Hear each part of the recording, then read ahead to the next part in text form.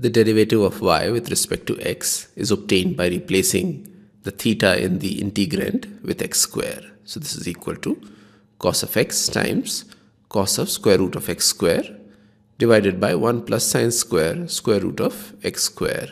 This times the derivative with respect to x of the upper limit which is 2x.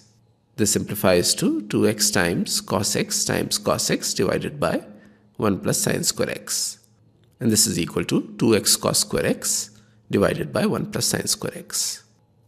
Putting x is equal to pi, the value of dy upon dx at x is equal to pi is equal to 2 pi times cos square pi divided by 1 plus sine square pi.